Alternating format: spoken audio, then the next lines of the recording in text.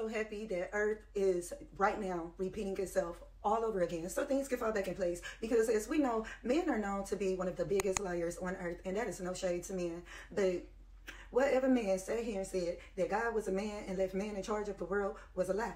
Because god ain't even no man. God is a woman. You got mother earth who gave birth to mother nature who gave birth to woman who gave birth to man. And i bet you if you pull a man's rib right now ain't no woman coming out of there but i bet you a man could come from a woman's rib and pushed down out of her womb and that is a fact and not only that, since this man who said the God left him in charge was also the man of a Caucasian race who was behind our local government systems that plotted on the black men, burned down their properties, stole everything they had, and which caused the black culture of men, women, and children to become enslaved. But we learned that right during the 2020 pandemic of the same man who lied about our history, lied about our religion, lied about our women rights, made women sit at home and bear children and sexually assaulted them and the children when they wanted to.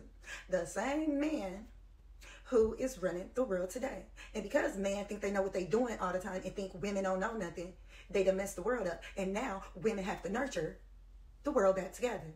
Thank God the world is repeating itself again. And the world will go back to being multicultural and diverse. I've been making videos about this for the past two years, but you're not trying to hear me though. Who run world, girls? Thank